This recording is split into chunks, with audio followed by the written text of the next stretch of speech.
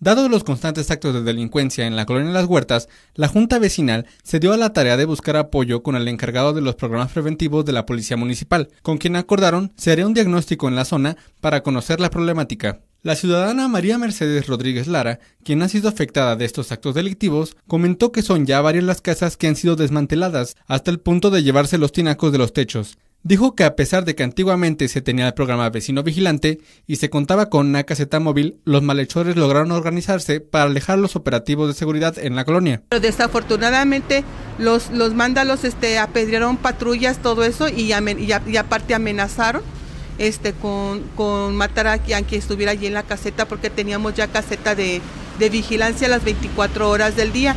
Y, aparte pues eh, desmantelaron la, la, la caseta y, se la trajeron.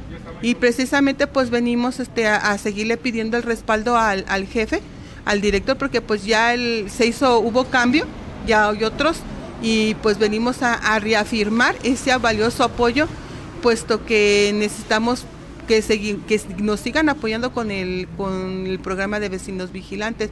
Hasta ahora, la colonia cuenta con más de seis casas desmanteladas y aunque el programa vecino vigilante permanece activo, no ha sido suficiente para mantener la seguridad del lugar. Los colonos piden apoyo para que vuelvan los programas de seguridad y los talleres de vecino vigilante. Queremos pedirle al, director pues que nos, nos siga respaldando con, con, este, con, su, con el programa porque ellos nos, nos daban simulacros, nos daban este, plática, nos nos ayudaban a, nos estuvieron dando defensa personal también para nuestros animalitos, o sea, esos programas nos, nos siguen interesando a nosotros que los, nos los sigan dando porque es de mayor, de mayor importancia.